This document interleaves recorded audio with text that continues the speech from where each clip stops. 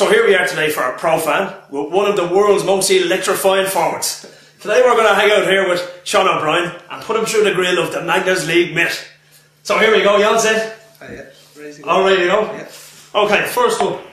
So why are you called the cast? Um, it's, kind of, it's nothing to do with me actually. It's my my father was called um, the Cass, I suppose, um, after Casanova when he was growing up. So it's been passed down through uh, all the lads in the family. It says, what would you like to be if you were a rugby player?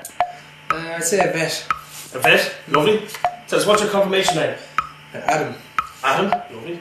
Have you ever had the chicken pox? Yes. Once or twice. Once. Joanne Cantwell or Evanne Ní Chuilinn?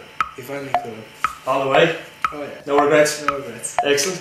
What Leinster play would you least like to share double bed and why? Uh, Stan Wright because um, you would know I get up there.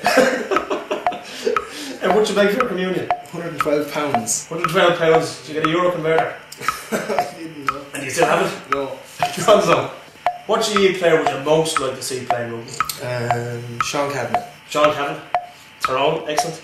Apple or pear bummers? Apple. Apple. You didn't embrace the pear. No. Me Hollamore or Hurtig or Michael Corcoran? All the way. Needless to say, you've just been announced as a Carlow Sportsman of the Month. How does it feel to have so much support back in, back in the hometown of Carlow? Yeah, it's great, you know, to have uh, all the support and people behind you, you know.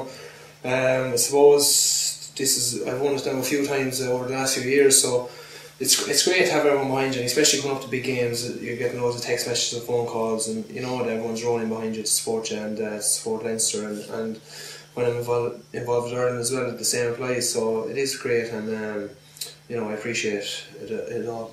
Yeah, brilliant. It tells like there's a perception out there, a lot of people, that Leinster's just sort of a D4 thing. Give us an idea of the sort of support base that's back down in Carlow.